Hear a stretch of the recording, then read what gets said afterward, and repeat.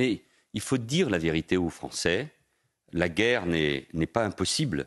Et d'une manière ou d'une autre, il faut euh, s'y préparer.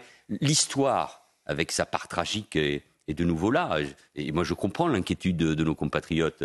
La guerre euh, en Ukraine, euh, des menaces, ce qui se passe évidemment en Israël et à Gaza, la montée de l'antisémitisme, le tsunami qui a balayé le monde, la menace terroriste qui est toujours là. Donc il y a quelque chose de vertigineux, non, quand on évoque euh, ces sujets. Mais ce que je veux dire avec beaucoup de force, c'est ce que je comprends des propos du président de la République, c'est que notre destin, celui des Français, celui des Européens, est lié intimement au destin euh, de Kiev, euh, de l'Ukraine et des Ukrainiens. Et nous ne pouvons pas accepter l'hypothèse d'une victoire de Vladimir Poutine qui représenterait la fin de la démocratie euh, ukrainienne, euh, la défaite stratégique, militaire, politique, morale de l'Europe et de l'Occident. Plus rien n'arrêterait Poutine. On le voit avec ce qui se passe aujourd'hui en Moldavie, mais vis-à-vis des pays baltes, par exemple. Et cela représenterait d'ailleurs un message aussi euh, pour la Chine d'agir à sa convenance